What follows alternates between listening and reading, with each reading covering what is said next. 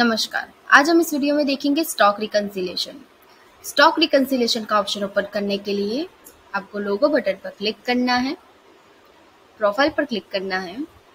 यहाँ पर आपको सर्विस एंड टूल का ऑप्शन सिलेक्ट करना है रिकन्सिलेशन एंड ऑडिट का ऑप्शन सिलेक्ट करना है।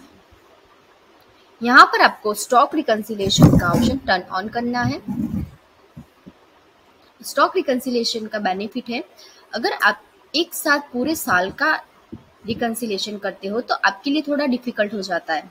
अगर आप ये स्टॉक रिकन्सिलेशन का फीचर यूज़ करते हो तो प्रॉपर जो सिस्टम में स्टॉक है और फिजिकली जो स्टॉक है, वो आपका डेली बेसिस पर रिकन्सिलेशन आप कर सकते हो। इसमें आपको यहाँ पर डेली आइटम काउंटेड का ऑप्शन मिल जाता है कि आपके आपके जो स्टाफ मेंबर है, वो स्टाफ मेंबर को आप जब भी असाइन रोल करते हो तो आपको रोल में इन्वेंट्री रिकन्सिलेशन का रोल आपको असाइन करना है। जिससे कि आपके जो स्टाफ मेंबर है उनको रिकन्सिलेशन का एक्सेस मिल जाए। तो उनको जैसे ही आपने यहाँ पर डेली आइटम काउंट का ऑप्शन है तो यहाँ पर आपको आइटम काउंट उनको डेली में कितनी करनी है कितनी रिकन्सिलेशन करनी तो यहाँ पर आप कम ज़्यादा कर सकते हो। दूसरा ऑप्शन है स्टॉक एडजस्टमेंट का। अगर आपके जो स्टाफ मेंबर है, वही स्टॉक एडजस्टमेंट करेंगे तो आपको यहाँ पर यस करना है। अगर आप ओनर खुद करेंगे तो यहाँ पर आपको नो कर देना है। और ये आपको सेटिंग करने के बाद सेव कर देना है। आपके जो स्टाफ मेंबर है, वो अपने स्टाफ लॉगिन में लॉगिन करेंगे तो उनको जो फ़र्स्ट टाइम लॉगिन करेंगे तो सॉफ्टवेयर में उनको रिकन्सिलेशन का ऑप्शन पहले ही आ जाएगा। वो जब भी स्टॉक रिकन्सिलेशन क्लियर करेंगे सबमिट करेंगे, उसके बाद ही उनको सॉफ्टवेयर में लॉगिन होगा। अभी हम स्टाफ मेंबर के अकाउंट में लॉगिन करके देखेंगे।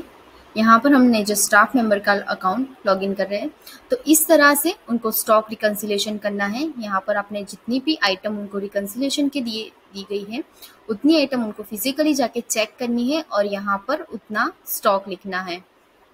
यहाँ पर स्टॉक लिखने के बाद ही सिस्टम उनको लॉगिन करने देगी। यहाँ पर उन्होंने जो स्टॉक लिखा है, उसके बाद यहाँ पर सबमिट कर देना है।